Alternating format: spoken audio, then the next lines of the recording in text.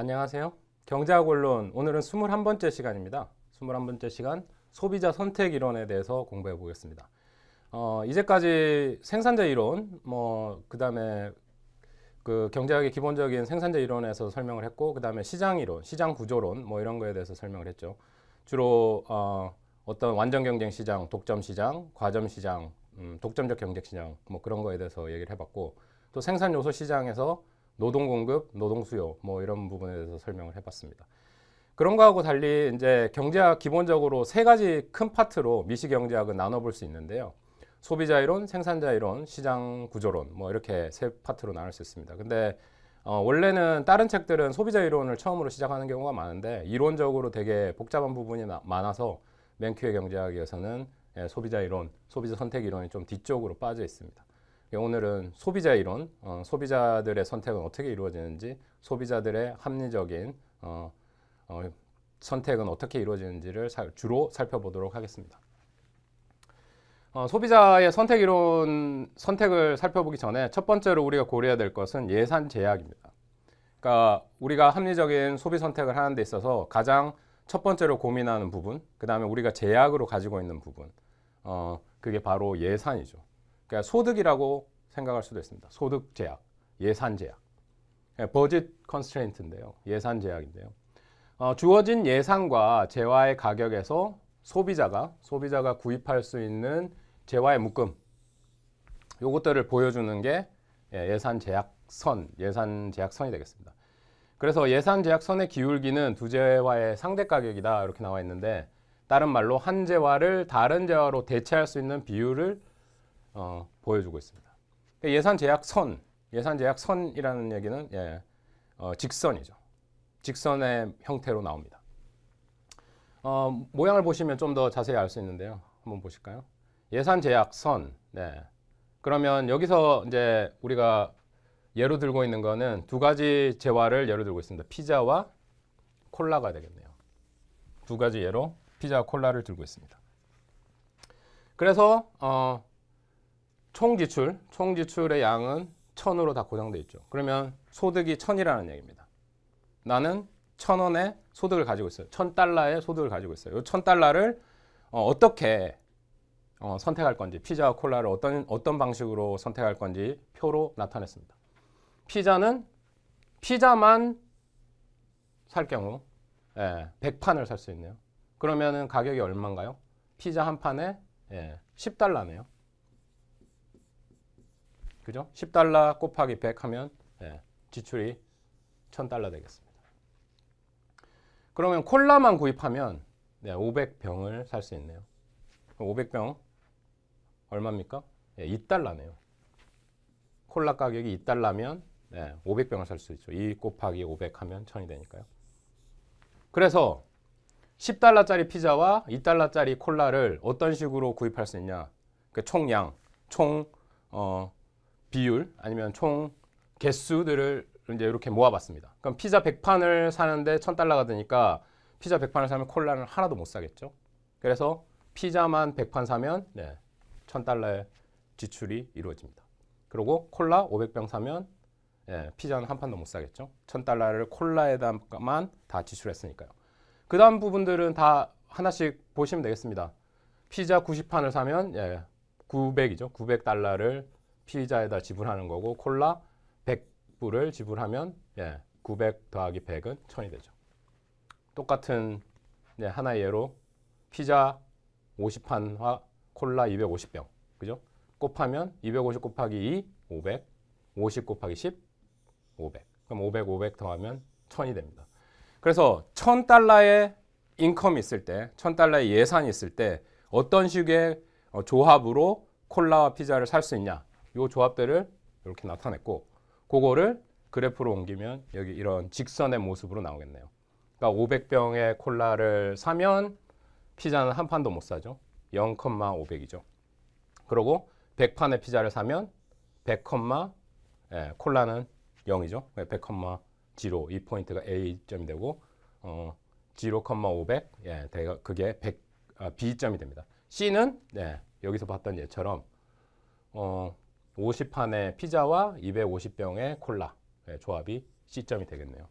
그 요 요 점들을 우리가 어, 콜라를 그러니까 무수하게 작은 단위로 살 수 있다고 가정했을 때 예산 제약식 선이 이렇게 직선으로 나타나게 됩니다. 요 점들 요 각각의 점들은 예, 요 위에 있겠네요. 450 그럼 10,450. 예, 요 10,450점 여기 있는 거고 그러면 100판부터 시작해서 90,50 예, 90,50 이쪽에 있고. 그죠? 그럼 여기에 한50 되겠네요. 이런 식으로 각각의 점들이 이 선상에 있다는 겁니다. 그 점들을 만약에 우리가 0.1, 0.01, 001 뭐 이 정도의 유닛으로 다 피자도 나눠서 살 수 있고 콜라도 사, 나눠서 살 수 있다. 그럼 예산 제약세 선이 이런 식으로 그려지게 되겠습니다. 그 요 점들 예로 나와 있던 점들이 요 예산 제약선 위에 있습니다. 이렇게 그려볼 수 있죠.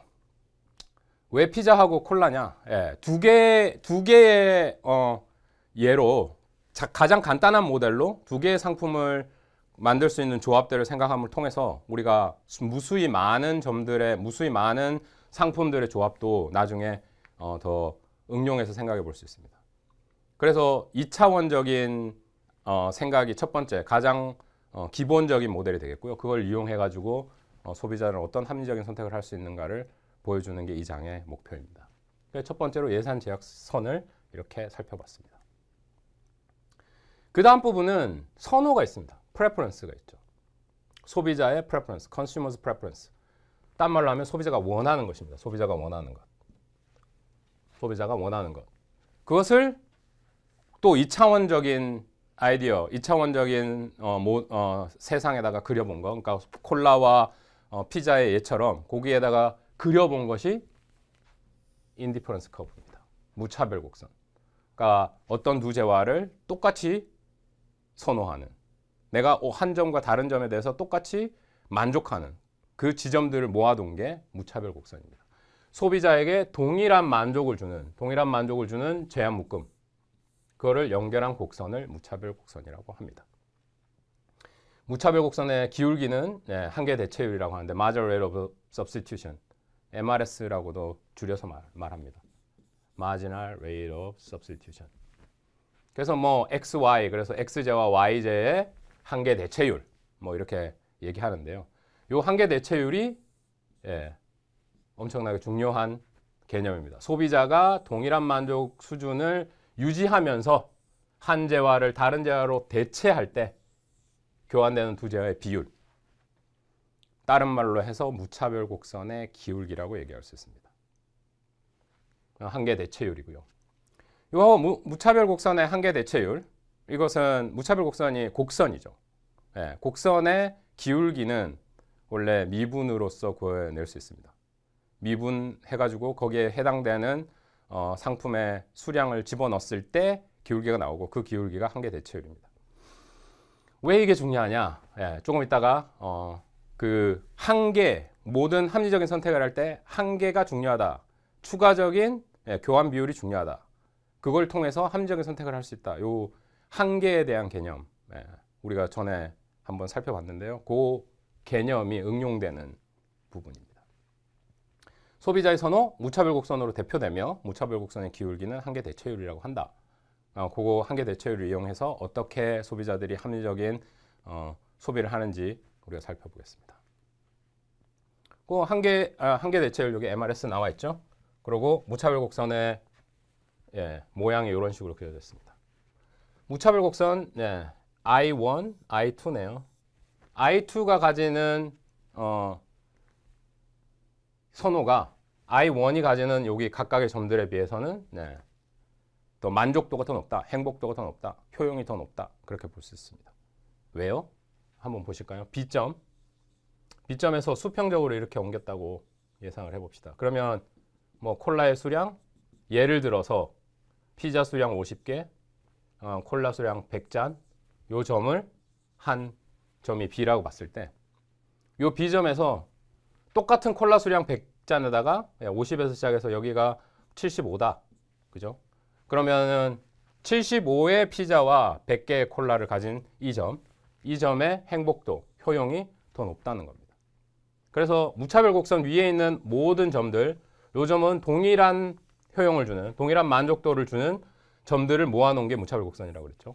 소비자의 만족도가 같은 점들을 모아놓은 게 무차별 곡선인데 요 한 I1 레벨의 무, 무차별 곡선은 만족도가 똑같다.